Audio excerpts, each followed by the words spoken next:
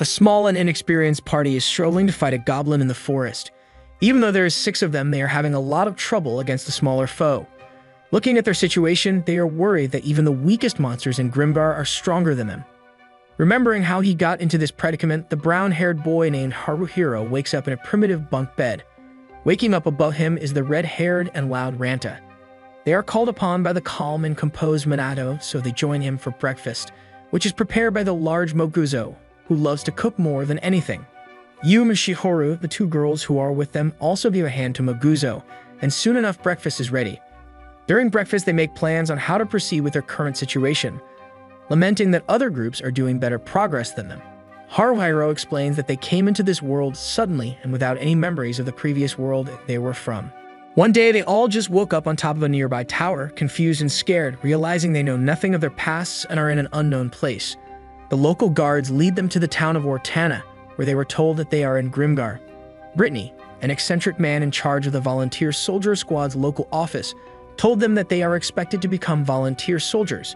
One strong-looking member of the People Without Memories, the white-haired Renji, speaks up in protest, but Brittany quickly shows him that this world is very dangerous. If they cannot get stronger, they will die, and he is willing to give them all some coins to prepare themselves if they join up with the volunteer soldiers as trainees, stating that they have no better option than join up. Apparently, there are many types of monsters and races in this world, which are all hostile towards humans. It is now their mission to call and suppress those enemies of humanity and earn a living by doing so. Their first goal is to earn enough coin to buy their official badges and become full-fledged members of the volunteer soldiers. As a party, they discuss what roles they should fulfill. While camping out, they learn more about each other, and it quickly becomes apparent that Ranta is crude and tactless as he starts teasing the two girls. Thanks to Manato's calming and commanding presence, the situation is broken up without any incident, and they head out to start their first hunt. Unfortunately, their hunt is fruitless since they are unable to find any isolated goblins and are too weak to challenge groups of them.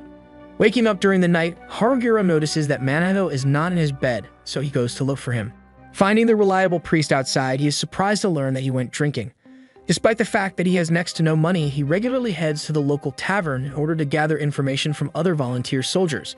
This makes Haruhiro respect him even more, thinking of him as an amazing leader. The two of them plan to try out another hunting ground next, hoping that they will find goblins which they can manage. It is there that they find the goblin from the beginning and their uphill struggle to defeat it begins. Thanks to everyone wearing the goblin down, they are able to defeat it shortly thereafter, with Manato using his healing magic to take care of Haruhiro's injury. Just as they drop their guard, the goblin comes back to its senses and attacks Ranta, but injured and weak, Goblin is quickly overpowered by the shocked and enraged Dark Knight. After looting the goblin and returning to town, they are happy to make their first proper paycheck since arriving into this world. In order to celebrate, they all go their separate ways and treat themselves to all sorts of necessities, accessories, and good food that they can afford. But it quickly becomes apparent to them that they need to pick up the pace and become even better if they want to survive in the long run. After returning to their lodgings, Ranta decides to peek on the girls bathing before calling it a day. However, he gets caught and thrown out, which drags the other guys who wanted to stop him into the same boat. The next morning, they properly apologize to the girls, but Ranta's action and indifferent attitude has made the atmosphere between the boys and girls awkward. While scouting out for lonesome goblins, Haruhiro and Yume are unable to find any easy targets. The next few days are much the same, and they cannot find any goblins to hunt down. Deciding to give up on the forest, they venture into Damuro, a city that was previously populated by humans, but got taken over by monsters and fell into ruin. It is there that they are able to find separated goblins more easily, so they start their goblin hunt. Working together as a team and springing traps on unsuspecting goblins changes their financial situation for better. Their new success was exactly what they needed to lighten up the mood and raise the morale of the party. Not wanting to bite off more than they can chew, they continue hunting goblins in Damuro, but they always make sure to stay away from larger groups. While doing so, they start mapping out the large ruined city, enjoying every day they go there as a new adventure. Manato tells them to save up the coin they are starting to earn so they could learn new skills from their respective jobs guilds. Heeding his advice, they all retire for the day. Haruhiro spends some time bonding with Manato, and they become even better friends. One morning, while on their way back from grocery shopping, Manato and Shihoru get to spend some time together alone. By protecting her from a sudden clumsy fall, Manato breaks the awkward silence that formed between them after the bath incident. Another day, another goblin hunt in Damuro. The new skills they learned thanks to Manato's advice are coming in handy, allowing them to take on the goblins with more confidence than before. Things are going well and they are taking a break in the middle of Damuro, but this makes them too relaxed and they get ambushed by a group of goblins. Haruhiro covers Manato from the attack but gets badly injured in the process. Everyone is in a panic scramble to get out of the city, and Manato quickly heals Haruhiro's injuries. While running away, Manato gets shot in the back by a goblin, and only once they reach a safe location in the forest does the severity of his injury become apparent. Collapsing to the ground, he tries to heal himself, but he already used up the last of his magic on healing Haruhiro just moments before. Quickly losing consciousness, Manato grabs Haruhiro's hand and entrusts everything to him. Not knowing what else to do, they grab the unconscious Manato and rush with him back toward Tana. There they head straight for the priest's guild and Manato's teacher is made aware of the situation. The old priest takes a look at Manato, but all he can do is offer condolences, as Manato has already passed and no healing magic will bring him back. It takes a while for the news to sink into everyone. Regardless, the old priest only tells them that they need to cremate Manato, as any body that is left unattended will return as a mindless undead within the next few days, thanks to the No Life King's curse. Completely devastated by the sudden development of things, the party is broken up about Manato's death. They do their duty as his friends and make sure his body is properly taken care of, getting a gravestone for him where they scatter his ashes. The loss of Manato fractures the party as they decide to vent their frustration and grief on each other. The guys go drinking to the same tavern which Manato frequented. Their Haruhiro and Ranta get into a heated argument. Surprisingly, it is Moguzo who breaks them up as he gets extremely upset at their infighting not knowing what they should do now that they lost Manato, who is the most important member of their party, not to mention their only healer. They start thinking of other ways to earn coin. But it is then that Kikkawa approaches them. He was among the people who arrived to this world with them, but he joined up with a different group. It turns out that Manato spoke with him in this tavern on occasion, and upon hearing of Manato's fate, he offers to help them out.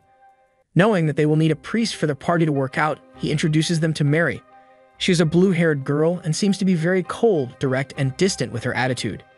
Yume and Shihoru are surprised that the boys have recruited a new member so quickly, but they do not object, try and be friendly towards the new party member instead. Tensions start rising in the group as they find it difficult to get along with Mary. She refuses to fight at the front lines and heal them unless she considers their injuries to be severe enough to warrant the use of her magic. Since she is a stark contrast to Manato, they are unable to adapt to her style so quickly, while lamenting about their situation over some drinks, Haruhiro realizes that the boys have been unfair to Yume and Shihoru, as they invited a new member into the group without consulting them first. Haruhiro approaches Yume and apologizes for what they did. However, she is not upset because of that, but because they never even tried to console the two of them, or ask them how they feel after Manato had passed. After all, Yume considers all of them to be friends, so they should be there for one another. The two of them end up consoling each other, but their embrace gets misinterpreted by Shihoru, who thinks they were doing something more intimate. After clearing up the misunderstanding, they prepare for the next hunt on goblins. Haruhiro insists that they should try treating Mary as a valued member of their party, even if she is cold and distant. Unfortunately, their attempts to get friendly with her seem to backfire, as she only deflects any attempt at conversation. Giving up on that, they start hunting down some goblins. Even without Mary on the front line, they are able to bring down some, albeit not without difficulty, as Manato is no longer leading them. Not being able to get on onto common ground with Mary, they decide to call it a day. Everyone except for Mary is drinking at the tavern, and it is there that they see her meeting up with a member from another, more popular and prestigious group. Wondering what Mary's connection to the other group is what keeps Haruhiro awake at night. Pondering to himself, he wonders what he can do to keep the party together and lead them like Manato did. Thanks to that, Haruhiro is able to analyze everyone's combat style, figuring out what they need to fully utilize their potential. While he is mulling over ideas on how to improve their teamwork, they get ambushed by a lone goblin. Thanks to Mary's quick reaction at defending Shihoru, the goblin's surprise attack is thwarted, revealing that Mary is capable and willing to protect them if push comes to shove. Slowly but surely, they are sure that they are breaking through Mary's ice-cold facade. But wondering why she is that way, they ask the person she talked to before.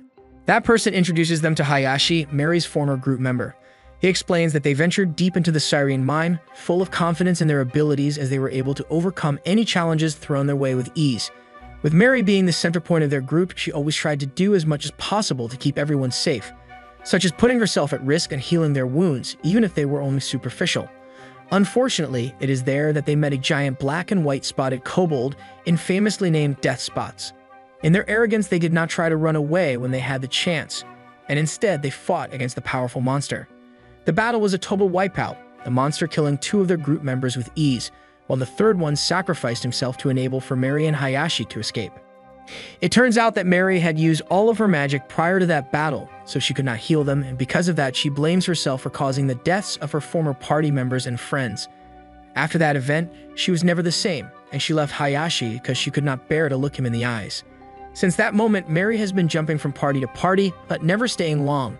Concerned that her mind is still trapped in that horrible mine, Hayashi asked of them to help her smile once again. Learning about their past makes the group reconsider their opinion of Mary, and they decide to try harder and become her new friends.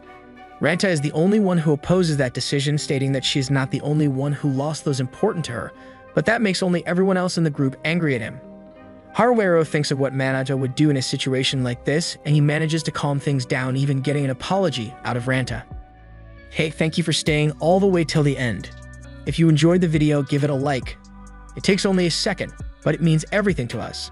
Have a great day and see you in the next video.